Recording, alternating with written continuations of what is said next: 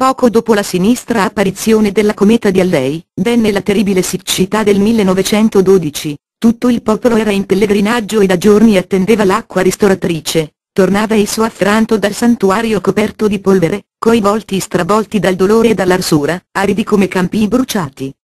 Ma forse perché la fede non vacillò, all'alba del terzo giorno si era appena mosso il lungo corteo, che la benefica pioggia venne giù torrenziale e copiosa.